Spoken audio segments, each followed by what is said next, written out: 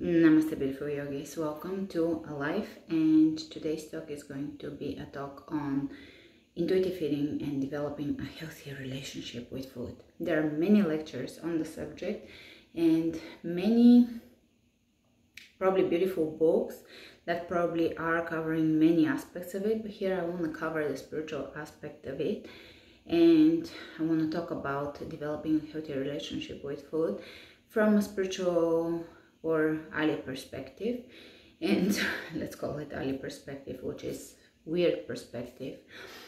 So and I'm fully aware of that. I don't have your uh, normal path of thinking type of thing. It's always a different angle I look at things. But I'm gonna bring that angle today of course because I that's the angle I have. Um, uh, when we, um, uh, young women especially, but also men are not uh, uh, excluded from this, develop oftentimes eating disorders or unhealthy relationship with food, self-abusive uh, behavior, um, unacceptance of the body and just a mentality of dieting or constantly trying to change the body, improve the body or resist the body. So I feel that when we mature, a good way to start obviously is with a healthy nurturing things to the body that have nothing to do with food. Um, yoga, but not you know calorie burning yoga. Never, uh, never try to fix your weight through calorie burning. The only reason why I like cardio is because it does um, uh, it does bring um, build the cardiovascular system. It, it, can speed up the metabolism but that is because the body is functioning better. But it is not to just burn off a dinner or something like that. That is not a sustainable or a pleasant place to be. Maybe it's sustainable for some people because i do see older people in the gym. Back in the day when i was in my 20s and going to the gym there was definitely older people in the gym that were quite in a good healthy range and they were killing it with cardio. So maybe it is sustainable, but it's a very anxious place to be at.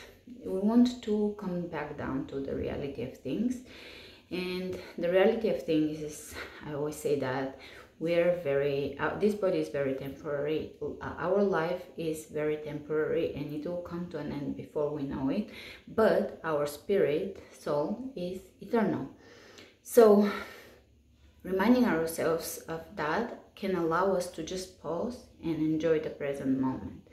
Remember about the present moment and savor it. Accept the imperfections of the present moment and accept that our body might want to be in a place that is a little different from the place in our head. Maybe we don't look exactly like a magazine cover, but where we are at is amazingly beautiful. We can compare to just some images to the to the images. We have to see ourselves in flesh and accept that as beautiful. Another thing is, um, yes, uh, the time we spend here is very temporary and I think it's a beautiful uh, it's beautiful time. This earth is not just suffering. Uh, the suffering part of this earthly experience is to uh, season our soul and allow us to find different ways to function as a soul. So it is a very learning experience and it only becomes suffering when we resist it or when, when we resist the lessons or when we resist our path and when we don't see things in perspective. So even the challenges are opportunities and again it is very temporary, it will all end really soon and the point here is we are in a very beautiful um, heavenly uh, place and appreciating it, enjoying it, enjoying it, and savoring it is very important because time comes when we have to depart from here and move on with our journey um, or a transition, a gate, a passage to another place. Uh, we would we want to look back and say, oh my God, I really enjoyed all of this. It was beautiful. I enjoyed the bird sounds and the clouds in the sky and the beauty all around me. So finding one of the tips i'll give you is to find nourishing things for your uh, self to do they have nothing to do with food just nourishing movement. Uh, drawing oh, my friend is coming. Uh, also developing reverence for food.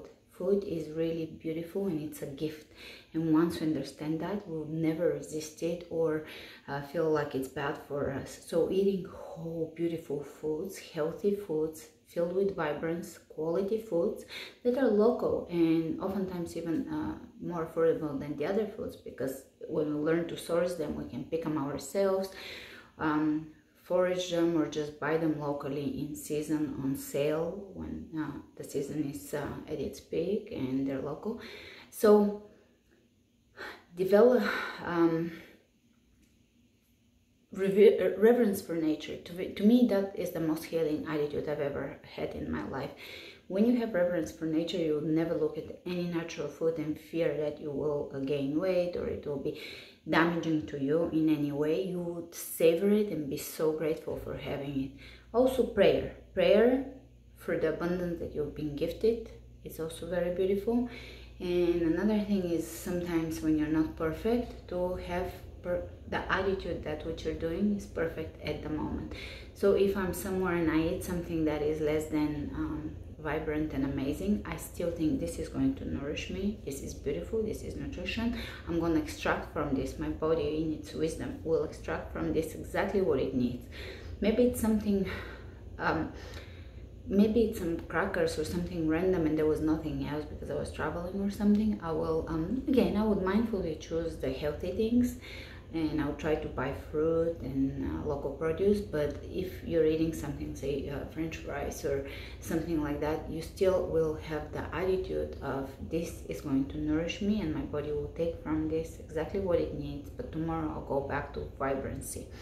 Another thing is um, to listen to your body in the ways that what I say really doesn't really really matter because you personally will develop a personal relationship with food. So you're not taking bits and pieces of what other people are saying and kind of applying it dogmatically but you're um, starting to understand things internally from uh, in your core feeling things and then things will start making perfect sense uh, to you rather than trying to apply some philosophy, idealistic philosophy that you have heard about.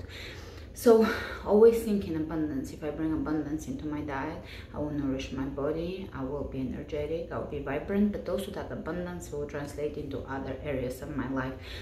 And on a practical level, I always have food. For me, if I don't have good food in the house, I'll still eat and it will not be good food. So if I'm here and I'm getting hungry, I'll open the fridge and there will be uh, right now I pre-made a massage salad so there is already massage salad and there is tofu and I'm soaking soybeans because I'm gonna make my first soy milk and tofu and silken tofu. But and also food preparation because food preparation is poetry. It's um it's meditation it's appreciation for food it's savoring uh, savoring and really taking the time look at it, to admire it, to have reverence for nature. To uh, I, when I was a teenager, I realized how profound the design of fruit is. It's just profound. If you take a strawberry with all the seeds and the constellations inside when you cut it through, with a little stem on top, the smell, imagine a chef trying to create that. It will never happen. The water to sweetness ratio, the incredible aroma that cannot be created by human, by human, the amazing shape, the shape is so amazing. And also because vibrations work like that, when something um, is looking a certain way, it affects a similar part of the body that has the similar vibration, so it's formed in the same way. And of course, on a practical level, I always say look at Cronometer and make sure that you're getting uh, nutrients because it's a learning process. You can't just shift your food into fresh amazing produce and expect to really hit all your nutrients. Especially on a vegan diet you have to always always track your zinc. It tends to be low on certain diets. If you have a lot of pumpkin seeds in your diet and there is a random items i add to my diet that tend to spike up my um, zinc like chia and paprika and um, I, for, forget at the moment, but uh, asparagus, there is random items that I add, like they're secondary to my diet. Um, they say, say they're spices or something on the side, uh, cacao powder, such such items that are not necessarily a part of the meal but they're either a latte or something I sprinkle on top um, but I sprinkle a lot and those things uh, end up adding a lot of um, nutrients uh, that are a little more on the rare side. So you do have to pay attention to your nutrients. You always have to be everything. Learning intellectually spiritual feeling in your body and emotionally understanding your food.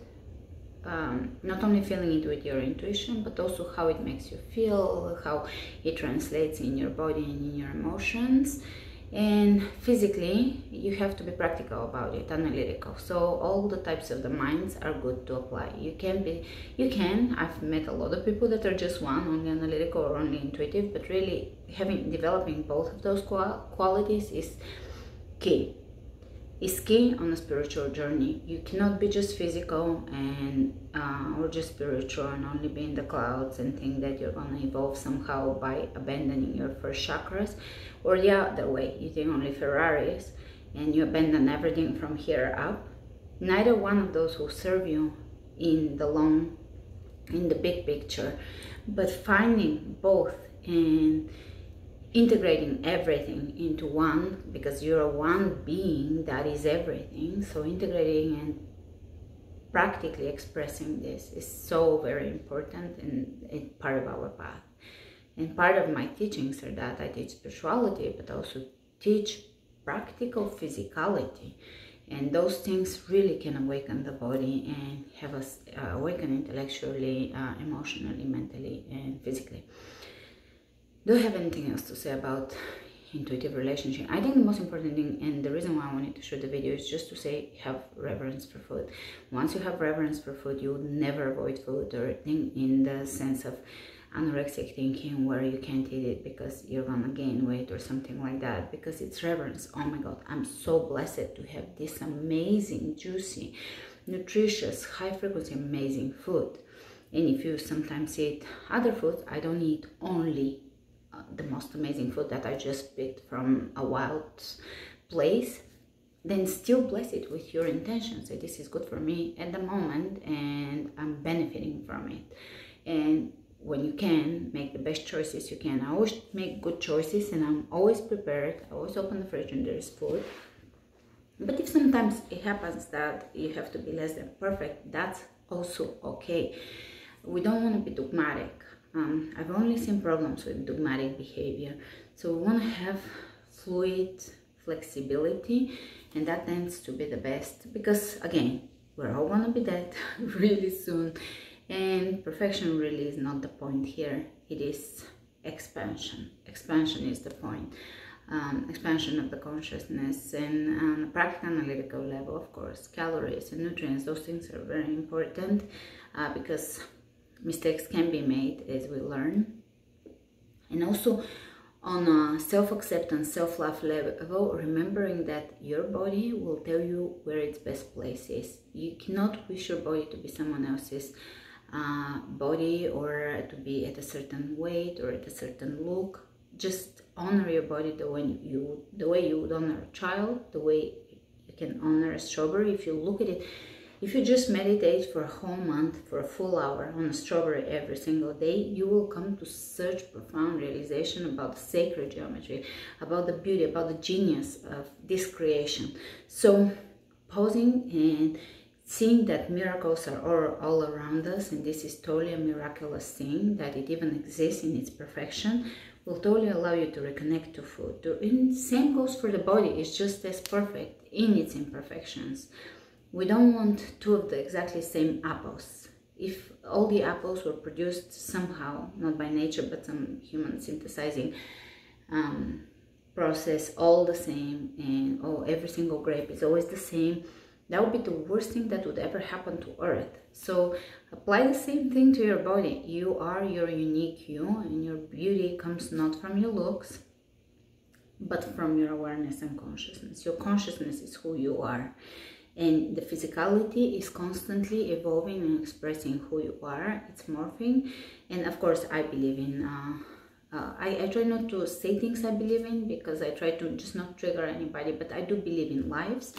And um, i don't think it's um, i personally don't think but i mean everybody can think whatever uh, works for them. I don't think it's anti-Christian or against the Christian uh, beliefs because I, there was before the third century uh, there was references to uh, that in uh, the biblical um, texts that were taken out in uh, uh, in the meetings because obviously the Bible is not in its um, unedited state right now. Everything is has gone through human hands. So what we have is not necessarily the the pure everything, text and everything.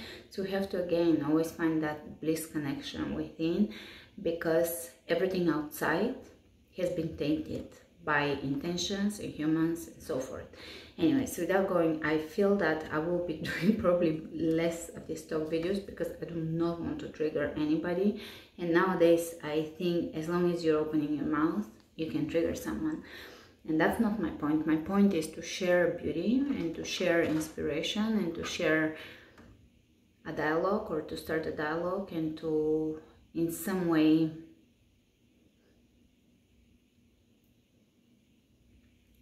I don't know, in some way share and inspire. But again, at the same time, oftentimes when you're speaking, there is always one word that you can say out of the, uh, the straight line and it can trigger at least one person and I don't want to tiptoe as much as I do. And I'm very careful with my, my words and I'm really careful with, with, what I say and it's never meant to offend anybody but again again.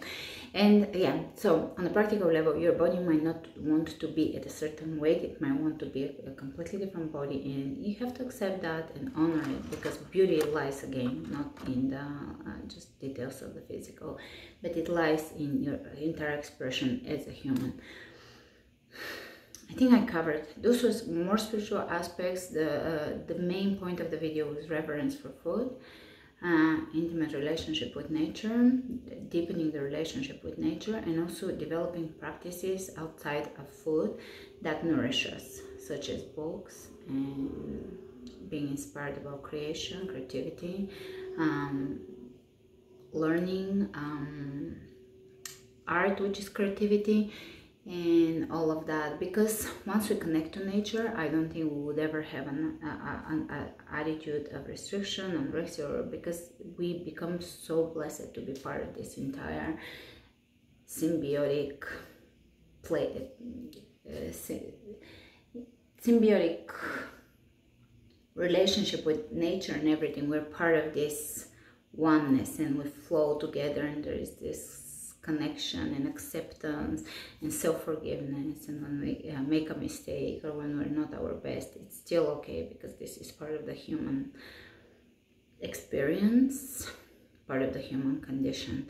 All right my friend is coming. I can see because i'm recording on my phone. I see she messaged me. She'll be here very soon so i'm gonna go get ready. And um, I'll see you with another video. By the way, remember October is the month for Deep Core Connection. Core connection means the core most important part of something. So we're gonna work on the core most important, the most important part of our body, which also uh, obviously always translates on each and every level of our emotions, of our mentality, of our beliefs, etc.